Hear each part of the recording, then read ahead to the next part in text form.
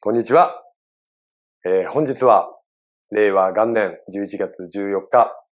えー令和の天皇陛下が大城祭に臨まれ、本当に天皇陛下として改めてこの地に降り立たれるというですね、まあ日本国民として何とも本当に喜ばしい、素晴らしい日に立ち会えたことを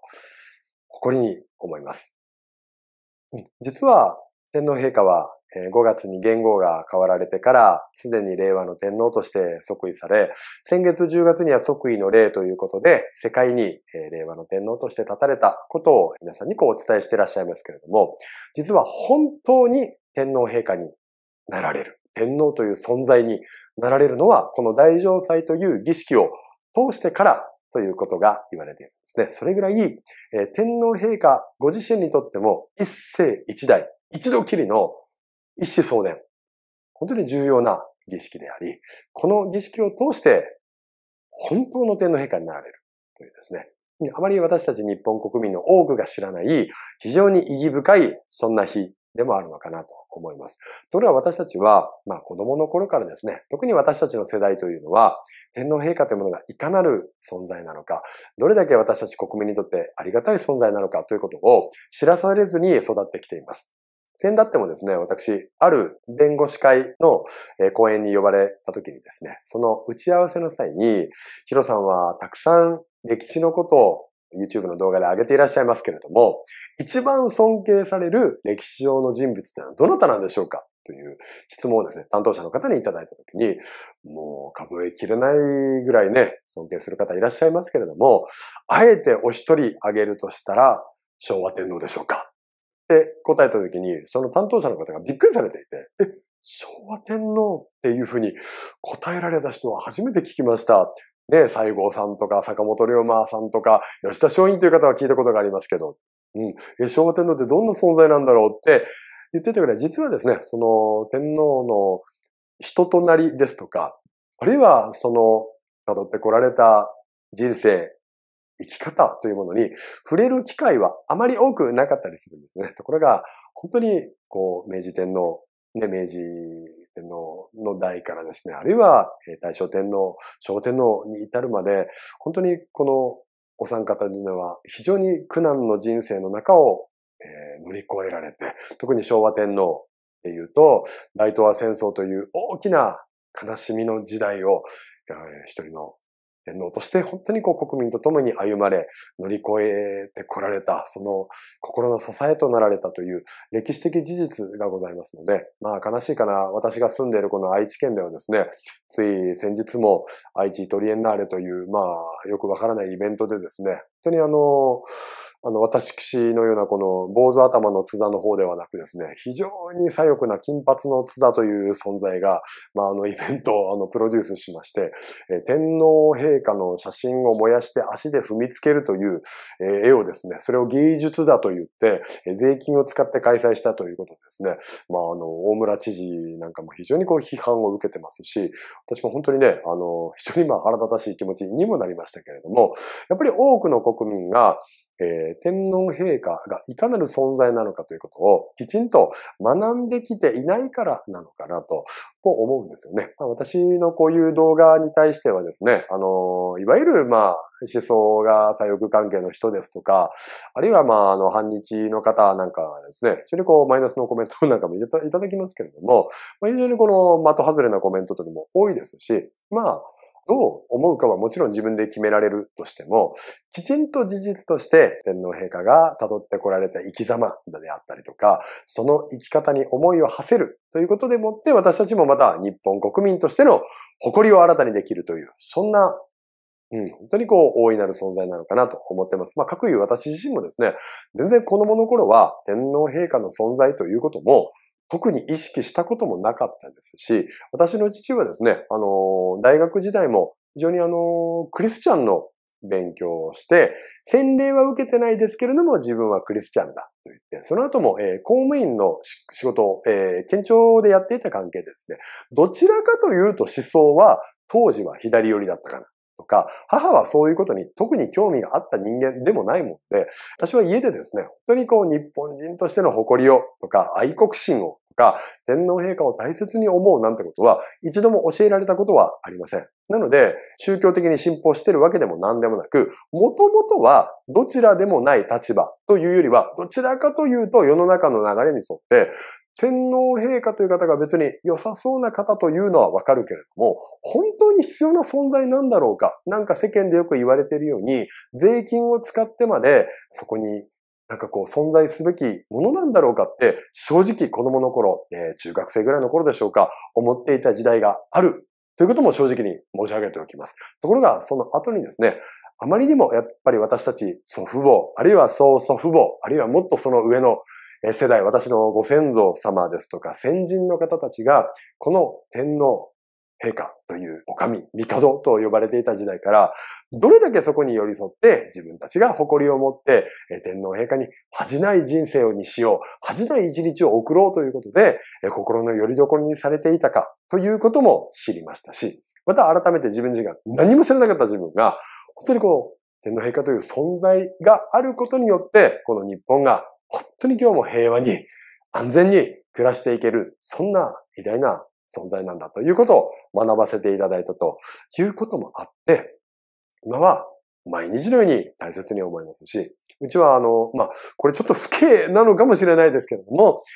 皇室の方々ですとか、あるいは、え天皇陛下、皇后陛下、あるいは上皇后陛下、上皇陛下、本当に皇室の方を大切に思えるように、あの、皇室カレンダーが部屋にあの、貼ってありますので、子供たちとも毎日それを眺めながら、え大切に思うという、そういう習慣をしてる次第なんですね。で、この大城祭という、まさに儀式というものが一体いかなるものなのかということの、その全貌というものは実は明かされていなかったりします。私も動画の中ではちょっとお話しできる限界というものがあります。うん、ここまでお話ししていいのかな、どうなのかなという、まあそのギリギリのところあたりまでちょっと今日はお話しできたらなと思うんですけども、まあ私はあの、ありがたいことにですね、ちょっと幸いにして政府主導のですね、一つの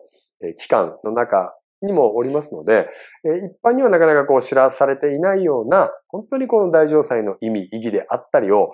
お伝えしていただける、まあそういうちょっと立場にあったものですから、私自身も本当にびっくりするような情報もたくさんありましたし、あ、そんなに意義深い儀式だったんだなと。で、この大城祭ということが本日、どのように行われていくかということなんですけれども、まあ、簡単に申し上げますと、今回大城祭のためのこの儀式ということで宮殿が建てられてですね、そして一世一代のこの儀式に臨まれるということなんですね。で、東西から集められたお米を収めているお社というのが建てられて、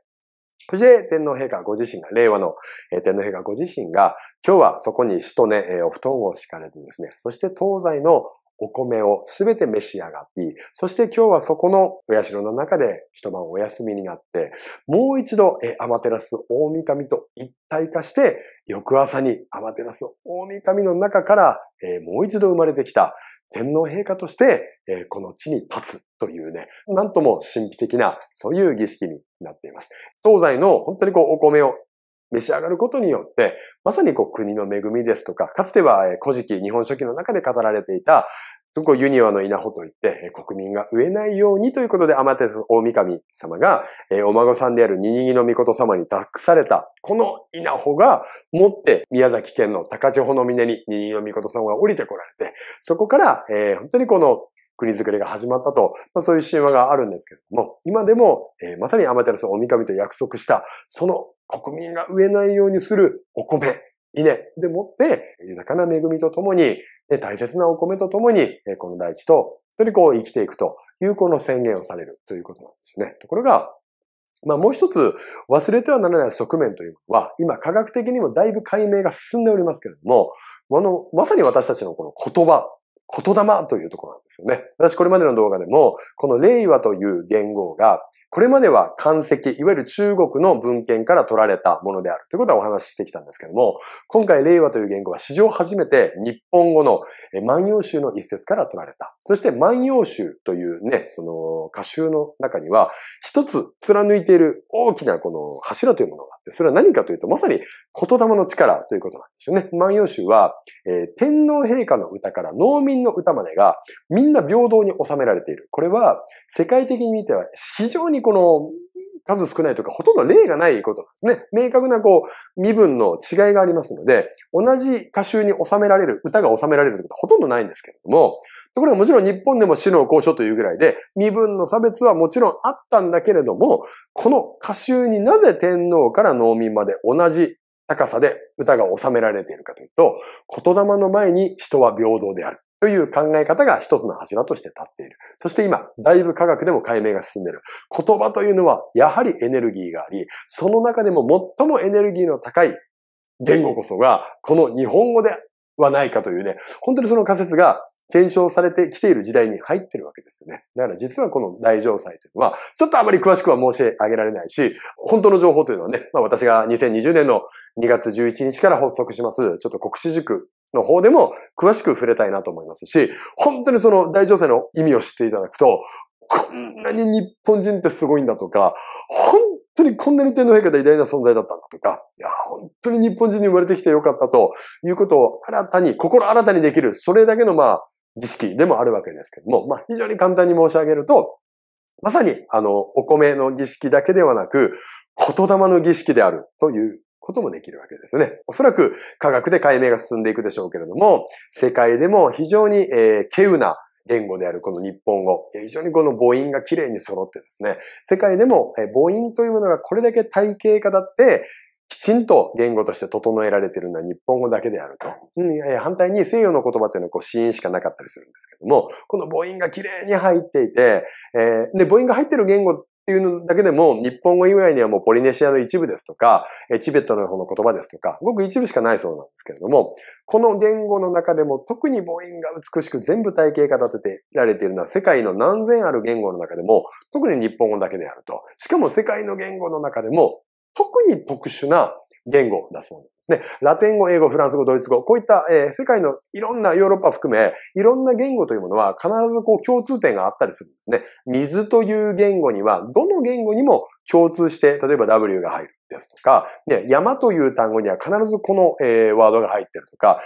世界の日本語以外の言語はかなり共通点があるそうなんですけども、日本語だけはなんだかこう特殊な言語であるということがだんだんこう解明も進んで、そして科学の進化とともに日本語はやっぱりこう特殊な言語ですごくエネルギーの高い言語なのではないかという仮説がだんだん検証されつつある。そしてまさにこの日本語を預かる身としての、えー、天皇陛下が、えー、日本語を本当にこう象徴する存在として、この地に降り立たれるのが大城祭ということもできるわけですよね。もうこのあたりでちょっとギリギリですけれども。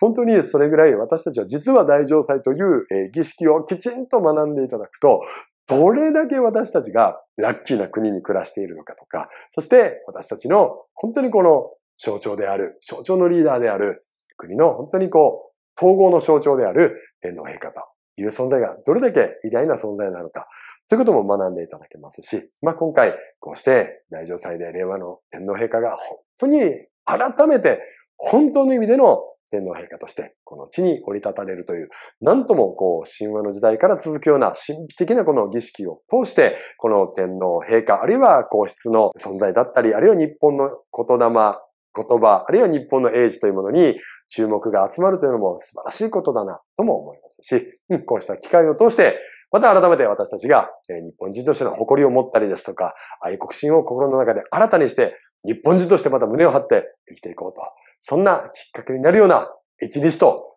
なられますように、本当に私自身もこの大城祭が無事に取り行われますようにということを毎日神棚にお祈りしておりましたが、今日めでたくその日を迎えられたことに心から感謝とですね、して、思いを新たに、これからも生きてまいりたいなと、そんなふうに思った次第です。ありがとうございました。